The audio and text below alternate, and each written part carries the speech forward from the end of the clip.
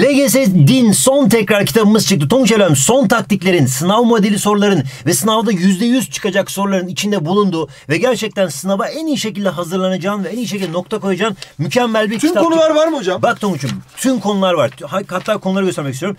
Ünitelere böldük. Biliyorsun zaten Milliyetin Bakanlığı'nda dinde 5 tane temel ünite var. Kader inancı, zekat ve sadaka, din ve hayat, Hazreti Muhammed'in örnekliği, Kur'an-ı Kerim ve özellikleri olmak üzere bu 5 üniteyi teker teker anlattık sana. Bu 5 ünitede de tek ne yaptığımızı hemen göstermek istiyorum. İlk başta konu akış şemaları var. Konuyu hangi alt başlıklara ayırdığımızı ve nasıl sırayla takip etmen gerektiğini gösteriyor. Sonrasında da kavramlar var. Yani kader, kaza, irade, külli irade bunların hepsinin tanımlarıyla beraber çünkü din dersi gerçekten de kavramlar üzerine kurulu. Ardından Tonguç Evlen Bey'im hemen bir hazırlan kısmı var. Sonra son taktikleri veriyoruz ve sonrasında sınav sorusu. Sınavda gelebilecek tarzda bir soruyla işte genellikle Kur'an-ı Kerim'den ayetler çok çıkıyor sınavda. Bununla alakalı ama bu konuda tabii ki böyle. Bazı konularda ise birazcık daha güncel hayat soruları çıkıyor. İşte Peygamber Efendimiz'in hayatından kesitler vererekten e, bunlara ilgili e, sorular geliyor din dersi özelinde. Ve burada yapamadığın soruların hepsini TAS uygulaması çözebilirsin. Bu son tekrar kitabımızda Tonguç'um. Tekrar söylüyorum bir hazırlan kısmı. Sonrasında e, son taktiklerimiz sonra sınavda çıkabilecek tarzda sorularla bütün Sınav ünite- tarzı sorular değil mi hocam? Aynen. Bütün üniteyi tekrar ediyoruz. Kavramlarımız, konu akışamaları bütün ünitelerde var